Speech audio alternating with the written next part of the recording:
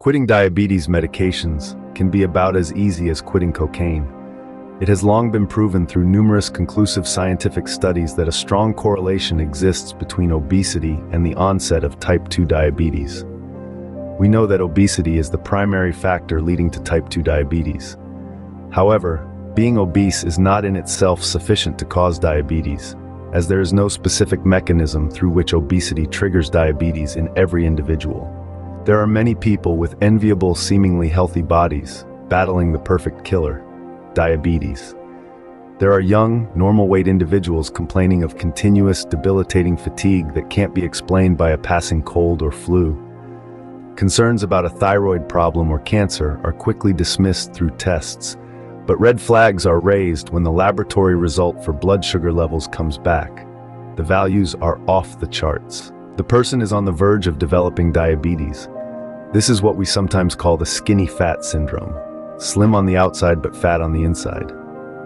There isn't a substantial difference between the total amount of glucose in the bloodstream of a typical person and someone on the verge of crossing the diabetes threshold.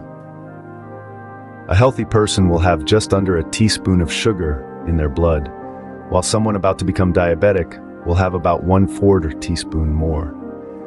However, an apparently insignificant amount of blood sugar is enough to make a huge difference in the body's physiology, causing hormonal changes and fluctuations. When there's an excess of glucose in the blood, the body instructs the pancreas to secrete more insulin to transport the sugar. However, as the pancreas pumps increasingly larger amounts of insulin, blood sugar levels drop drastically. In such situations, you feel like eating anything, especially carbohydrates. You might even feel dizzy and tremble.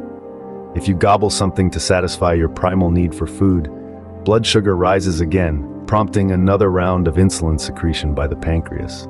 The cycle repeats, and it's not a slow journey, but a highly violent one. Indeed, the insulin production system we are born with worked well for millennia.